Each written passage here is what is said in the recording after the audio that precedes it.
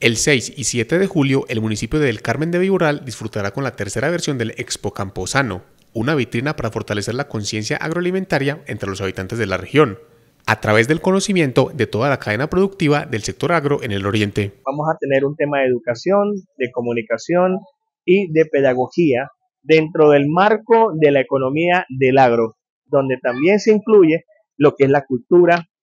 el agro como tal y también la sostenibilidad. Son factores importantes por los cuales nosotros estamos inspirados en siempre hacer varias versiones de Expo Camposano.